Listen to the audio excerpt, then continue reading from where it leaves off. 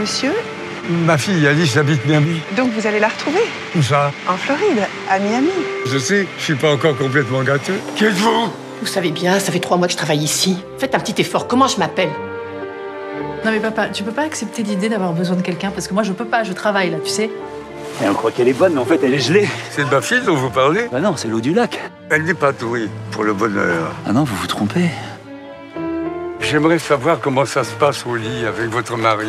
Je vais pas recommencer avec ça. Quel genre de caresse vous préférez? Madame Forja, vous pouvez pas me faire ça Je dois vous prévenir, mon père aime pas trop l'idée d'avoir quelqu'un pour l'aider. Vous avez eu temps de prendre cette place. Elle va pas durer longtemps. Je sais, bientôt vous allez mourir. J'ai l'habitude avec les personnes vieilles. Quelle chance sommes-nous? Ça suffit. Tu te rends compte que tu organises toute ta vie pour lui, autour de lui, et qu'il se rend compte de rien. Ah, ma voiture.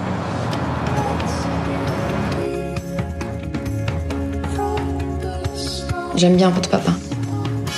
Pourquoi tu veux pas le mettre dans cette résidence? Je peux pas, arrête avec ça.